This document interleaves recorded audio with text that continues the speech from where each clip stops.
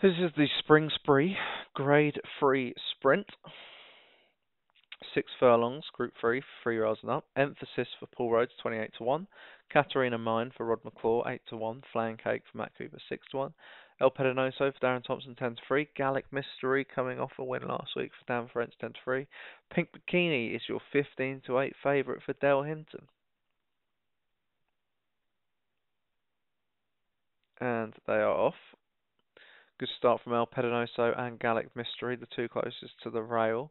Coming through uh, those in stalls three and four now, Pink Bikini and Flank Cake, and those were drawn five and six, Emphasis and Katarina Mind, have been taken to the back of the pack. And three of them, well, four of them actually, are going toe to toe to try and get the lead. El Pedanoso just has it on the rail. Flank Cake on the outside, in between of Gallic Mystery being ridden along in the green and yellow um, squared shirt. Pink Bikini is just in behind them, but starting to be pushed along.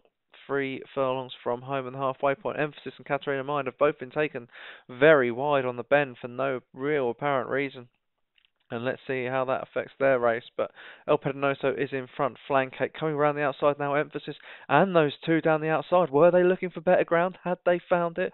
Who knows? But it's Flancake now putting it up to emphasis. Back on the inside, El Pedanoso comes back at them. El Pedanoso on the inside. Emphasis for Paul Rhodes in the middle of the track here.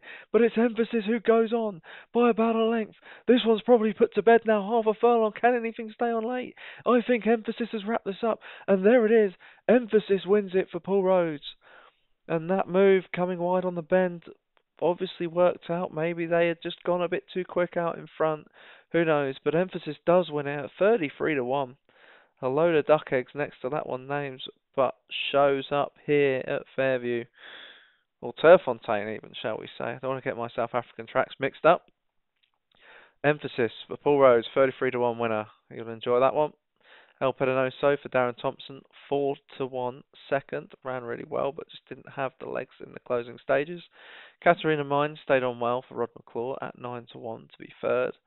Flan Cake was fourth at 8 to 1 for Matt Cooper. Uh, Pink Bikini, 11 to 8 favourite, was pretty disappointing, ridden along from an early stage for Dale Hinton. Gallic Mystery was sixth for Dan French at 4 to 1, also pretty disappointing.